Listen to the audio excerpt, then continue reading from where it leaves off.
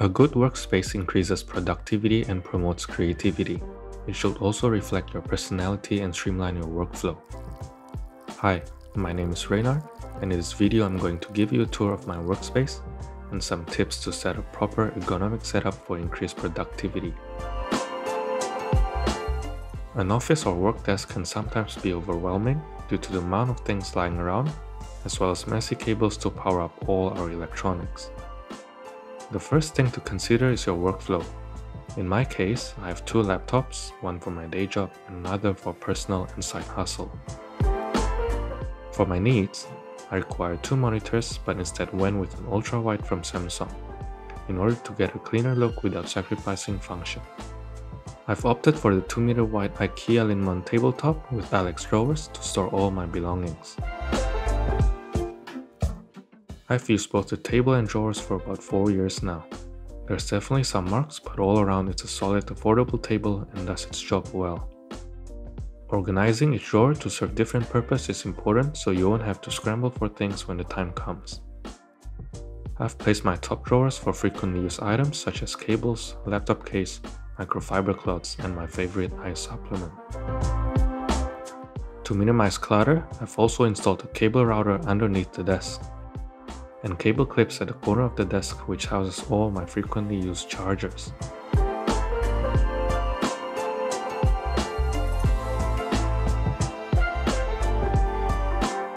A small table plant and diffuser help brighten up the space while keeping the cables out of sight. To the center of the table I've installed a USB-C dock with power delivery, which connects to the monitor, mouse and keyboard as well as connecting to the laptop via a single USB-C port while charging the laptop at the same time. This way, I can seamlessly switch between laptops without having to unplug all different cables.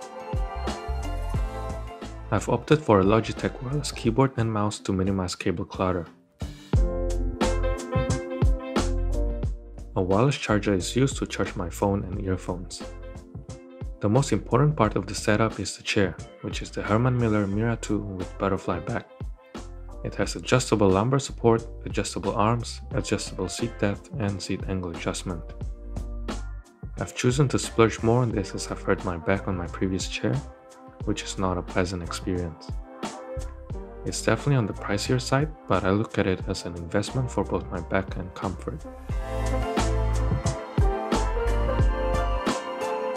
To the left of the table is a tray I got from Amazon that houses most frequently used essentials such as my portable hard drives, cables, earbuds, wallets, and an air freshener as I live in an open plan space.